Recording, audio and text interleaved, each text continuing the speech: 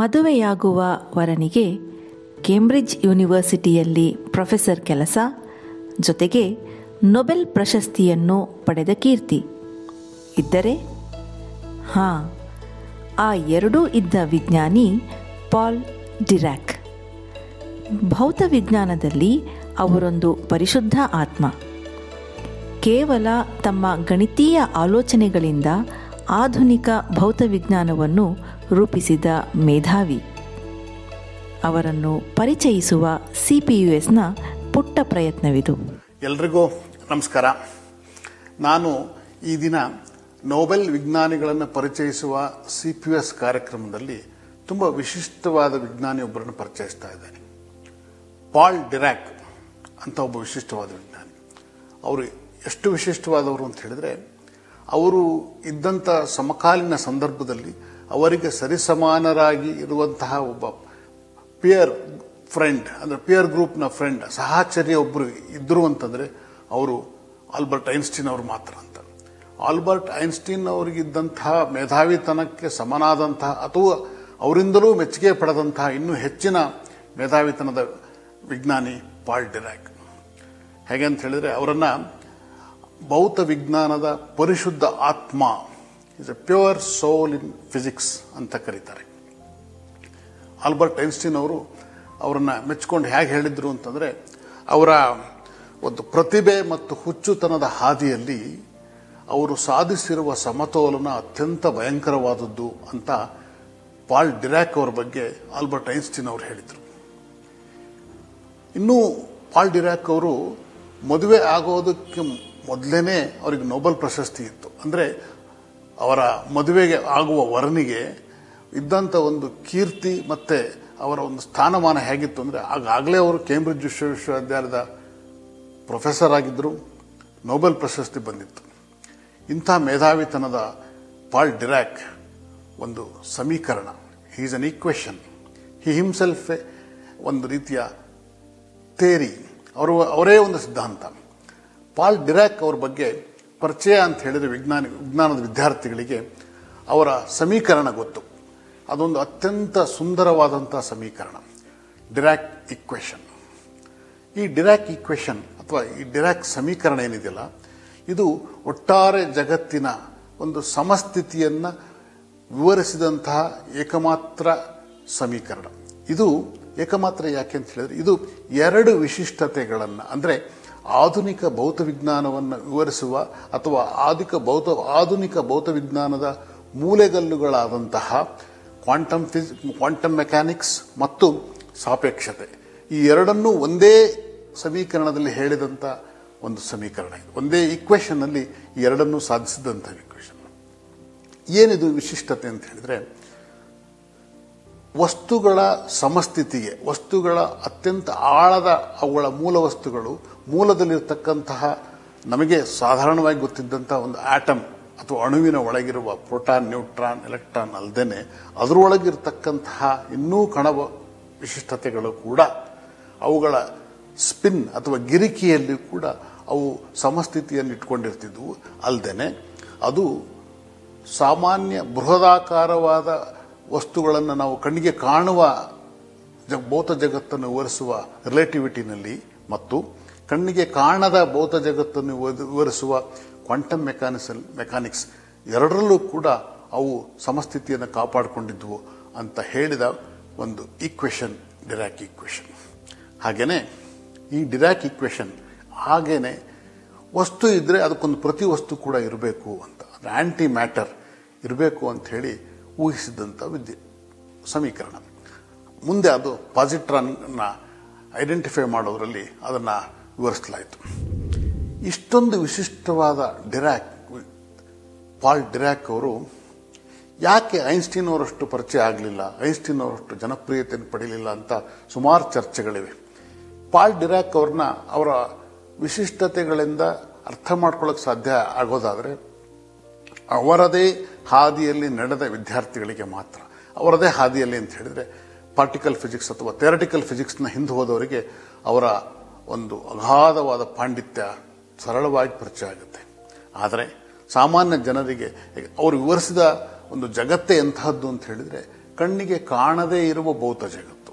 ನಮಗೆ ಸಾಧಾರಣವಾಗಿ classical physics explain ಮಾಡುವಂಥ ಅಂದರೆ ನಮ್ಮ ಕಣ್ಣಿಗೆ ಕಾಣುವ ವಿಷಯಗಳನ್ನು ಹೇಳುವ ಭೌತ ಜಗತ್ತನ್ನು ಭೌತ ವಿಜ್ಞಾನವನ್ನು ನಾವು ನೋಡ್ಕೊಂಡಿದ್ದೀವಿ. ಆದರೆ ಕಣ್ಣಿಗೆ ಕಾಣದ ವಸ್ತುಗಳನ್ನು ವಿವರಿಸುವ ಕ್ವಾಂಟಮ್ ಫಿಸಿಕ್ಸ್ ಅಥವಾ ಕ್ವಾಂಟಮ್ ಜಗತ್ತನ್ನು ಅವರು ಆರಂಭಿಸಿದ್ದೇ ಈ ವಿಶಿಷ್ಟವಾದ ವಿಜ್ಞಾನಿ.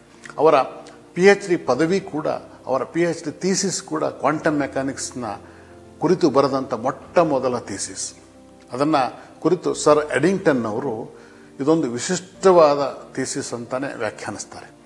ಹಾಗಾಗಿ ಅವ್ರ ಬಗ್ಗೆ ಪರಿಚಯ, ಜನಪ್ರಿಯತೆ ಬಹಳ ಕಡಿಮೆ. ಅದಕ್ಕೆ ಇನ್ನೂ ಒಂದು ಕಾರಣ ಏನಂತಂದರೆ, ಡಿರಾಕ್ ಅವರು ಕೂಡ ಜನಪ್ರಿಯತೆಯನ್ನು ಬಯಸ್ತಾನೆ ಇರಲಿಲ್ಲ.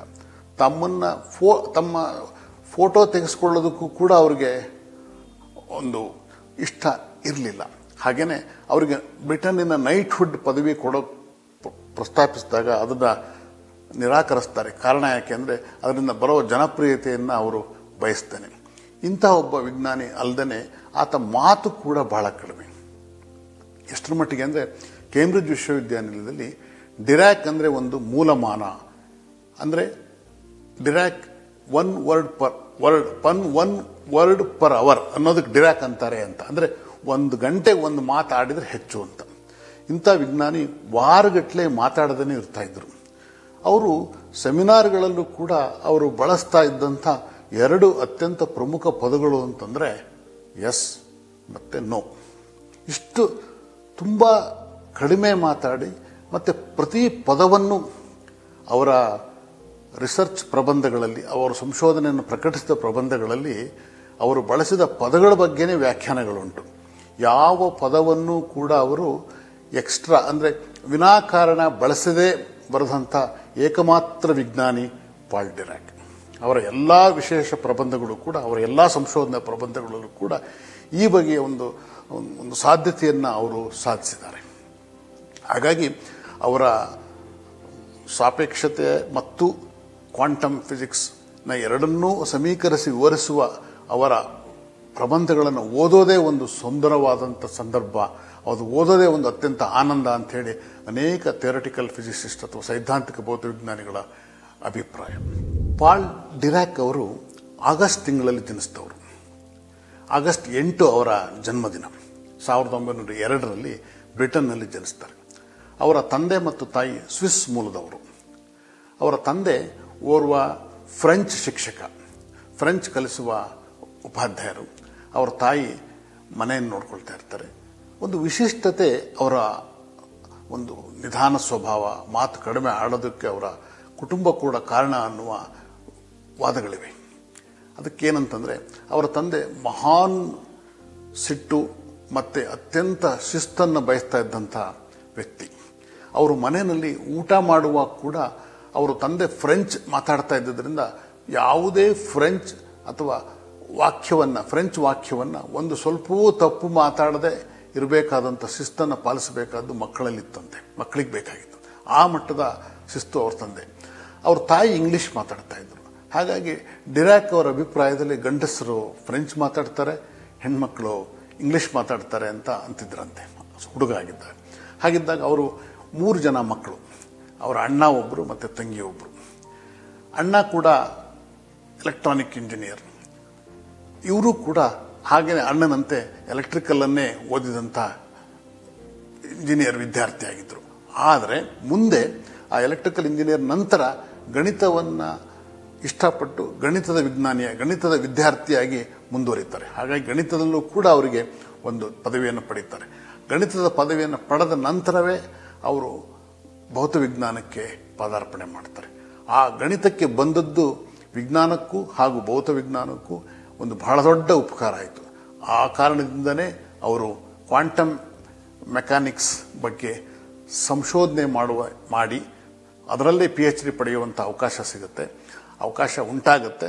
ಜೊತೆಗೆ ಕ್ವಾಂಟಮ್ ಮೆಕ್ಯಾನಿಕ್ಸ್ ಅನ್ನುವ ಒಂದು ಫೀಲ್ಡ್ ಕೂಡ ಹೊಸದಾಗಿ ವಿಜ್ಞಾನಕ್ಕೆ ಸಿಗುತ್ತೆ ಆ ಮೂಲಕವೇ ಜಗತ್ತಿನ ಕಾಣದೇ ಇರುವ ವಸ್ತುಗಳ ವಿವರಣೆಗಳು ವಿಶಿಷ್ಟವಾದ ರೀತಿಯಲ್ಲಿ ದೊರಕೋದಕ್ಕೆ. ವಿಶಿಷ್ಟ ಅಂತ ಹೇಳಿದರೆ ಅವುಗಳಲ್ಲೂ ಒಂದು ಸೌಂದರ್ಯ ಇದೆ. ಅಂದರೆ ಇವತ್ತು ಗಣಿತವನ್ನು ಬಳಸಿ ವಿಜ್ಞಾನವನ್ನು ಅಥವಾ ಭೌತ ವಿಜ್ಞಾನವನ್ನು ಅತ್ಯಂತ ಸುಂದರವಾಗಿ ಹೇಳೋಕ್ಕೆ ಸಾಧ್ಯ ಆಗಿದ್ದೇ ಅದಕ್ಕೊಂದು ರೂಪಕವನ್ನು ಕೊಟ್ಟಂಥ, ಅದಕ್ಕೊಂದು ಸಾಧ್ಯತೆಯನ್ನು ಕೊಟ್ಟಂಥ ಡಿರಾಕ್ ಅವರ ಬರಹಗಳು ಮತ್ತು ಡಿರಾಕ್ ಅವರ ಸಂಶೋಧನೆ.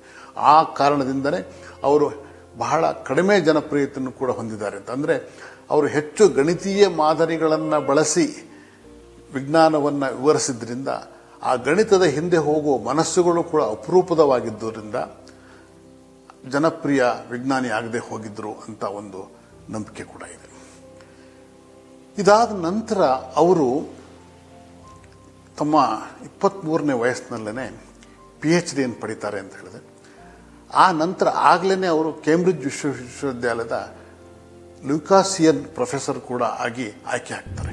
ಪಾಲ್ ಡಿರಾಕ್ ಅವರು ಕ್ವಾಂಟಮ್ ಮೆಕ್ಯಾನಿಕ್ಸ್ನಲ್ಲಿ ಪಿ ಎಚ್ ಡಿ ಪದವಿಯನ್ನು ಸಾವಿರದ ಒಂಬೈನೂರ ಇಪ್ಪತ್ತಾರರಲ್ಲಿ ಅವರು ಸಿದ್ಧಪಡಿಸ್ತಾರೆ. ಅಷ್ಟು ಬೇಗ ಅವರಿಗೆ ಕ್ವಾಂಟಮ್ ಮೆಕ್ಯಾನಿಕ್ಸ್ ಪದವಿಯನ್ನು ಪಡೆದ ನಂತರ ಕೂಡ ಅವರು ಅದೇ ಮಾದರಿಯ ಸಂಶೋಧನೆಗಳಲ್ಲಿ ಮುಂದುವರಿಸ್ತಾರೆ. ಹಾಗಾಗಿ ಆ ಮುಂದೆ ಸಾವಿರದ ಒಂಬೈನೂರ ಇಪ್ಪತ್ತೆಂಟು ಮತ್ತು ಮೂವತ್ತ ಮೂರರ ನಡುವೆ ಅವರು ಪ್ರಕಟಿಸಿದ ಅನೇಕ ಕ್ವಾಂಟಮ್ ಸಿದ್ಧಾಂತ ಕುರಿತಂತಹ ಪ್ರಬಂಧಗಳು, ವಿಶಿಷ್ಟವಾದ ಪ್ರಬಂಧಗಳು ಅಲ್ಲದೆ ಮುಂದಿನ ಆಧುನಿಕ ಭೌತ ವಿಜ್ಞಾನವನ್ನು ಬದಲಿಸಿದ ಬರಹಗಳಾಗಿ ಅವು ರೂಪುಗೊಳ್ತವೆ ಆ ಸಂದರ್ಭದಲ್ಲಿ ಅವರು ಸಾವಿರದ ಒಂಬೈನೂರ ಮೂವತ್ತ್ಮೂರರಲ್ಲಿ ಅವರಿಗೆ ನೊಬೆಲ್ ಪ್ರಶಸ್ತಿ ಬರುತ್ತೆ. ಆಗ ಅವರಿಗಿನ್ನೂ ಕೇವಲ ಮೂವತ್ತೊಂದು ವರ್ಷ. ಮದುವೆ ಕೂಡ ಆಗಿರಲ್ಲ. ಆ ನಂತರ ಅವರು ಒಂದು ಬಾರಿ ಪ್ರಿನ್ಸ್ಟನ್ ವಿಶ್ವವಿದ್ಯಾಲಯಕ್ಕೆ ಹೋದಾಗ ಅಲ್ಲಿ ಒಬ್ಬ ವ್ಯಕ್ತಿ ಪರಿಚಯ ಆಗ್ತಾರೆ. ಆಕೆ, ಆಕೆನೇ ಅವರಿಗೆ ತಮ್ಮ ಮದುವೆಯನ್ನು ಪ್ರಸ್ತಾಪಿಸ್ತಾರೆ. ಯಾಕೆಂದರೆ ನಾನು ಆಗಲೇ ಹೇಳಿದ ಹಾಗೆ, ಡಿರಾಕ್ ಅವರು ಬಹಳ ಕಡಿಮೆ ಮಾತುಗಳನ್ನು ಆಡುವಂತಹ ವ್ಯಕ್ತಿಯಾಗಿದ್ದರು ಹಾಗಾಗಿ ಅವರು ಪ್ರಸ್ತಾಪಿಸುವ ಸಂದರ್ಭವೇ ಬರ್ತಿರ್ಲಿಲ್ವೇನೋ. ಹಾಗಾಗಿ ಆಕೆನೇ ಪ್ರಸ್ತಾಪಿಸ್ತಾರೆ ಮಾರ್ಗಿತ್ ವಿಗ್ನರ್ ಅನ್ನುವ ಆಕೆ ಅಣ್ಣ ಕೂಡ ನೊಬೆಲ್ ಪ್ರಶಸ್ತಿ ಪಡೆದವರು ಯುಗಿನ್ ವಿಗ್ನರ್ ಎನ್ನುವ ಭೌತ ವಿಜ್ಞಾನಿ ಆಕೆ ಅವರ ತಂಗಿ ಮಾರ್ಗಿತ್ ವಿಗ್ನರ್. ಅವರು ತಮ್ಮ ತಾವು ನಿಮ್ಮನ್ನು ಮದುವೆ ಆಗಬೇಕು ಅಂತ ಬಯಸಿದ್ದೇನೆ ಅನ್ನುವ ಮಾತಿನ ಮೂಲಕ ಪಾಲ್ ಡಿರಾಕ್ ಅವರಿಗೆ ಮದುವೆಗೆ ಪ್ರಸ್ತಾಪಿಸ್ತಾರೆ. ಅವರು ಎಷ್ಟರ ಮಟ್ಟಿಗೆ ಅಂತಂದರೆ ಡಿರಾಕ್ ಅವರ ಮುಂದಿನ ಜೀವನವನ್ನು ಬದಲಿಸಿದ ಕೀರ್ತಿ ಅವರ ಹೆಂಡತಿಯಾದಂಥ ಮಾರ್ಗಿತ್ ಅವರಿಗೆ. ಮಾರ್ಗಿತ್ ಅವರಿಗೆ ಆಗಾಗಲೇ ಮದುವೆ ಆಗಿದ್ದರೂ ಕೂಡ ಮದುವೆಯಾಗಿ ವಿಚ್ಛೇದನ ಪಡೆದಿರ್ತಾರೆ. ಅವರಿಗಾಗಲೇ ಎರಡು ಮಕ್ಕಳಿರ್ತವೆ. ಆ ಎರಡು ಮಕ್ಕಳ ಜೊತೆಗೆ ಮುಂದೆ ಅವರಿಗೂ ಕೂಡ ಎರಡು ಮಕ್ಕಳಾಗ್ತವೆ. ಅವರ ಮೊದಲನೇ ಎರಡು ಮಕ್ಕಳನ್ನು ಕೂಡ ಡಿರಾಕ್ ತನ್ನ ಸ್ವಂತ ಮಕ್ಕಳ ಹಾಗೆ ಬೆಳೆಸಿದರಂತೆ. ಅವ್ರಿಗೂ ಕೂಡ ಡಿರಾಕ್ ಅನ್ನೋ ಹೆಸರಿನಲ್ಲೇ ಮುಂದುವರಿತಾರೆ. ಅವ್ರ ಮಕ್ಕಳು ಕೂಡ ಹಾಗೆ. ಇನ್ನೊಂದು ವಿಶೇಷತೆ ಅಂತಂದರೆ ಈ ಮಾರ್ಗಿತ್ತವರು ಇವರ ಜೀವನದಲ್ಲಿ ಅವರಿಗೆ ಸಂಪೂರ್ಣ ಮನೆ ಜವಾಬ್ದಾರಿಯನ್ನು ವಹಿಸಿಕೊಂಡು, ಸಂಪೂರ್ಣ ಸೈದ್ಧಾಂತಿಕ ಭೌತವಿಜ್ಞಾನದಲ್ಲಿ ತೊಡಗುವಂತೆ ಮಾಡಿದವರು ಅವರ ಪತ್ನಿ. ಇನ್ನೂ ಒಂದು ವಿಶೇಷತೆ ಅಂತ ಹೇಳಿದರೆ, ಕೇಂಬ್ರಿಡ್ಜ್ ವಿಶ್ವವಿದ್ಯಾನಿಲಯದಲ್ಲಿ ಇವರು ಲ್ಯೂಕಾಸಿಯನ್ ಪ್ರೊಫೆಸರ್ ಆಗಿ ನಿವೃತ್ತರಾದ ಮೇಲೆ ನಿವೃತ್ತಿಯನ್ನು ಪಡೆದು ಬೇರೆ ಕಡೆ ಹೋಗೋದಕ್ಕೆ ಇಷ್ಟಪಡ್ತಾರೆ. ಯಾಕೆ ಅಂತಂದರೆ, ಒಮ್ಮೆ ಅವರು ಫ್ಲಾರಿಡಾ ವಿಶ್ವವಿದ್ಯಾಲಯಕ್ಕೆ ಹೋಗಿರ್ತಾರೆ. ಅಮೆರಿಕದ ಫ್ಲಾರಿಡಾ ವಿಶ್ವವಿದ್ಯಾಲಯದಲ್ಲಿ ಹೋದಾಗ ಅಲ್ಲಿನ ನಿಸರ್ಗದ ಸೌಂದರ್ಯ ಮತ್ತು ಸಹಜವಾದ ವಾತಾವರಣವನ್ನು ನೋಡಿ, ಅವರು ಬಯಸಿದರೆ ನಾನು ಇಲ್ಲೇ ಇದ್ಬಿಡ್ತೀನಿ ಅಂತ ಒಂದು ತಮ್ಮ ಆಸೆಯನ್ನು ವ್ಯಕ್ತಪಡಿಸಿರ್ತಾರೆ. ಆದರೆ ಅದನ್ನು ಅವರು ಹೇಳಕ್ಕೆ ಸಾಮಾನ್ಯವಾಗಿ ತಮ್ಮನ್ನು ತಾವು ಏನನ್ನೂ ಪರಿಚಯಿಸಿಕೊಳ್ಳದಂಥ ಸ್ವಭಾವ ಅವರದಾಗಿದ್ದರಿಂದ ಅವರು ಅದನ್ನು ಹೇಳೋಕ್ಕೆ ಇಷ್ಟಪಡಲ್ಲ. ಆಗ ಆ ವಿಷಯವನ್ನು ವಿಶ್ವವಿದ್ಯಾಲಯಕ್ಕೆ ತಲುಪಿಸಿದ್ರು ಅವ್ರ ಹೆಂಡತಿ. ಅದು ವಿಜ್ಞಾನಕ್ಕೆ ಎಂಥ ದೊಡ್ಡ ಬದಲಾವಣೆ ಎಂಥ ದೊಡ್ಡ ಅವಕಾಶ ಕೊಡ್ತು ಅಂತ ಹೇಳಿದ್ರೆ ಅದೇ ಒಂದು ವಿಶಿಷ್ಟತೆ. ಅವರು ಫ್ಲಾರಿಡ್ ಫ್ಲಾರಿಡ್ ವಿಶ್ವವಿದ್ಯಾಲಯದಲ್ಲಿ, ಫ್ಲಾರಿಡಾ ವಿಶ್ವವಿದ್ಯಾನಿಲಯಕ್ಕೆ ಸೇರಿದ್ದೇ ಒಂದು ಇತಿಹಾಸ. ಅದೊಂದು ಬಹಳ ವಿಶಿಷ್ಟವಾದ ಕಥೆ ಇದೆ. ಅದೇನು ಅಂತ ಹೇಳಿದ್ರೆ, ಮಾರ್ಗಿತ್ ಅವರು ಹೀಗೆ ಪಾಲ್ ಡಿರಾಕ್ ಅವರು ಇಲ್ಲೇ ಇರೋಕ್ಕೆ ಇಷ್ಟಪಡ್ತಾ ಇದ್ದಾರೆ ಅಂತ ಹೇಳಿದಾಗ, ಅಲ್ಲಿನ ಭೌತ ವಿಜ್ಞಾನದ ಪ್ರೊಫೆಸರ್ ಅಥವಾ ಹೆಡ್ ಹೆಡ್ ಮುಖ್ಯಸ್ಥರು, ಓ, ಅದಕ್ಕೇನಂತೆ? ಅವರು ಬರೋದು ನಮಗೆ ಬಹಳ ಸಂತೋಷವಾದ ವಿಷಯ ಹಾಗೆ ಅಂತ ಹೇಳಿದಾಗ, ಆದರೆ ಇಡೀ ಆ ಯೂನಿಟ್ನ ಡೀನ್ ಆರ್ಟ್ಸ್ ಅಥವಾ ಇಂಗ್ಲಿಷ್ ಭಾಷೆಯ ಡೀನ್ ಆಗಿರ್ತಾರೆ. ಇಂಗ್ಲಿಷ್ ಭಾಷೆಯ ಪ್ರಾಧ್ಯಾಪಕರಾಗಿರ್ತಾರೆ. ಅವ್ರಿಗೆ ಹೇಳಿದಾಗ, ಅವರು ಡಿರಾಕ್ ಯಾರದು ಅಂತ ಹೇಳ್ತಾರಂತೆ. ಆಗ ಭೌತ ವಿಜ್ಞಾನದ ಪ್ರೊಫೆಸರ್, ಓ, ತಮಗೆ ಶೇಕ್ಸ್ಪಿಯರ್ ಗೊತ್ತಾ ಅಂತ. ಓ, ಗೊತ್ತು. ಒಂದು ವೇಳೆ ಶೇಕ್ಸ್ಪಿಯರ್ ಬಂದು, ನಾನು ಬರ್ತೀನಿ ಫ್ಲಾರಿಡಾಗೆ ಅಂದರೆ ಏನು ಮಾಡ್ತೀರಂತ ಅಂತ. ಅವ್ರು ತಕ್ಷಣ ಹೀಗೆ ಎದ್ಬಿಟ್ಟು ಗೌರವ ಸೂಚಿಸಿ ಇಲ್ಲಿ ಬನ್ನಿ ಅಂತ ಹೇಳಿ ಕರಿತೀನಿ ಅಂತಂದ್ರಂತೆ.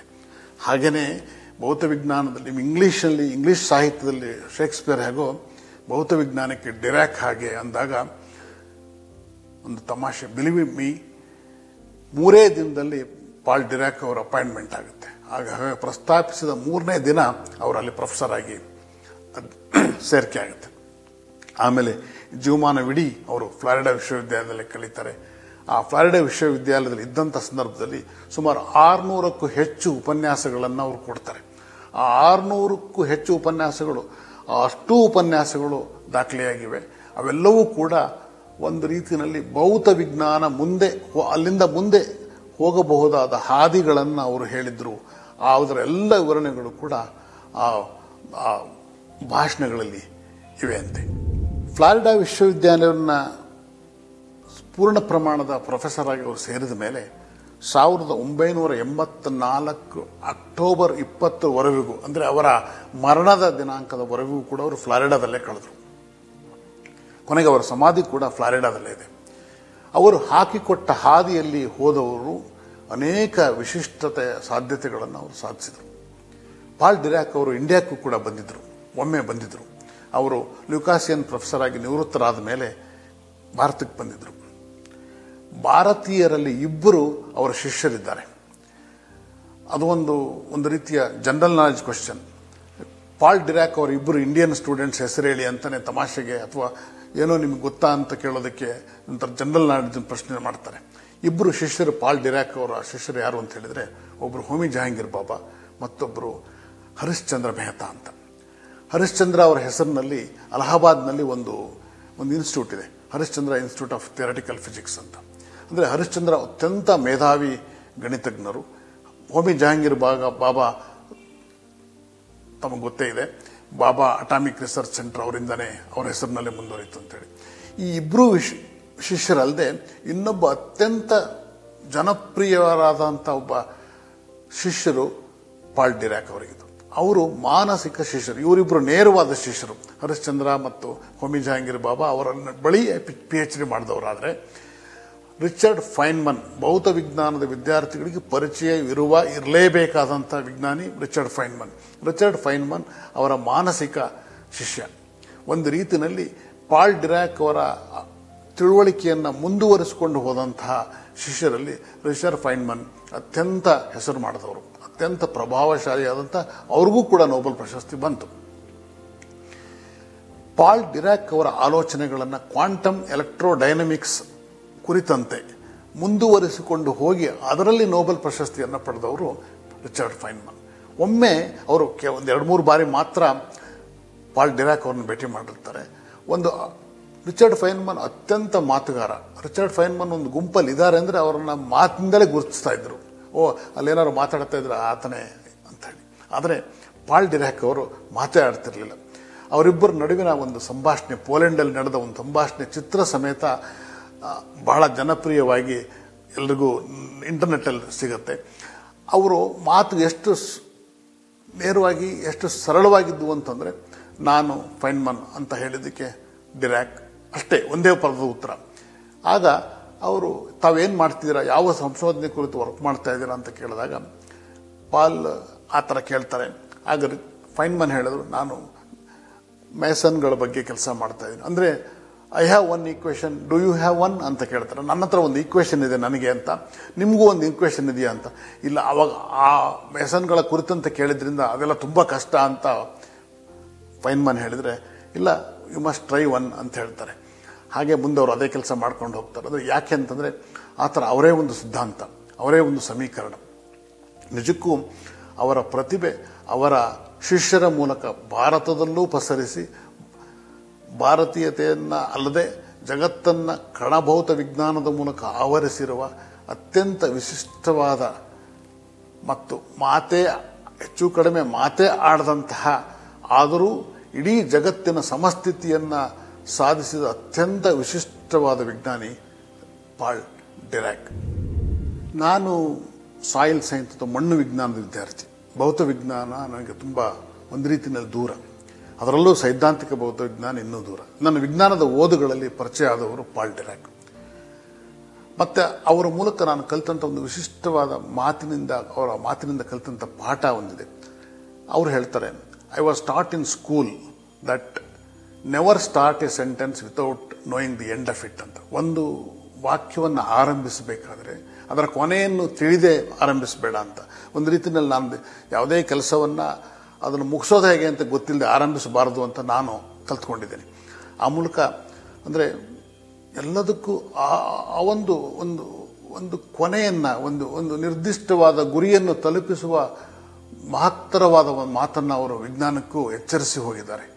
We should know how to end to start in event ಅಂತ. ನಮಗೆ ಒಂದು ಕೆಲಸ ಮುಗಿಸೋದು ಕೂಡ ಚೆನ್ನಾಗಿ ಗೊತ್ತಿರಬೇಕು ಅಂತ. ಅಷ್ಟೊಂದು ವಿಶಿಷ್ಟವಾದ ವಿಜ್ಞಾನಿ ಪಾಲ್ ಡಿರಾಕ್ ನಮಸ್ಕಾರ